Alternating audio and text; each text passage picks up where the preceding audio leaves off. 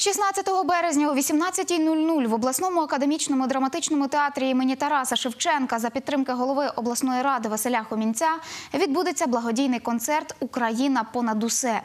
Зібрані кошти спрямують на поліпшення матеріального забезпечення особового складу 6-го окремого мотопіхотного батальйону 128-ї окремої механізованої бригади батальйон Збруч і батальйону патрульної служби особливого призначення Тернопіль. 4 березня українська громадськість відзначила 200-ліття з дня народження хорового диригента, священника, громадського діяча, українського композитора, який написав музику до національного гімну Ще не вмерла Україна Михайла Вербицького. А 10 березня 150-ту річницю першого публічного виконання гімну. До цих пам'ятних дат в обласній універсальній науковій бібліотеці зорганізували літературно-музичний вечір України Великої діти. Там побувала Світлана Лазорик. Відкрили літературно-музичний вечір хоровим виконанням гімну.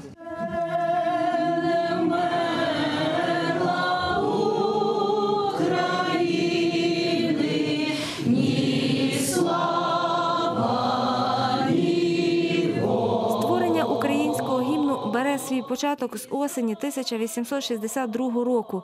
Український етнограф, фольклорист, відомий поет Павло Чубинський написав вірш Ще не вмерла Україна, якому в майбутньому судилося стати національним, а згодом і державним гімном українського народу. Поезія миттєво стала популярною серед українофільських гуртків. У 1864 році Михайло Вербицький написав музику до майбутнього українського гімну. Ця музика вперше прозвучала в Львові, бо саме в Львові була надрукована впоряд з поезією Шевченка до Шевченкових роковин. Цей вірш ще не вмерла Україна. Він був створений в 1864 році і вперше був виконаний. Ще не вмерло Запоріжжя. Сьогодні на відомій сцені Марії Заньковецької. І це виконував звичайний український хор селянський. Зазвичай. Хоча і Львів мав невеличку українську інтелігенцію, і Перемишль з горсток української інтелігенції, але коли прийшла українська еліта в вишиванках, селяни, і такі самі селянські композитори, і в тому числі отець Михайло Вербицький, такі самі селянські драматурги, то зал Марії Заньковецької був просто переповнений щемом. І після цього ця пісня настільки прижилася, що вона почала бути своєрідним гімном. І лише через рік, в 1865 році, отець Михайло Вербицький її вже зробив в точному звучанні, як сьогоднішній гімн трактується, що не вмерла Україна. Народився Михайло Вербицький на Лемківщині у родині греко-католицького священика. Коли майбутньому композитору виповнилося 10, помер його батько. Ним і його молодшим братом Володиславом заопікувався далекий родич, перемишльський владика Іван Снігурський, один із найяскравіших діячів Української греко-католицької церкви.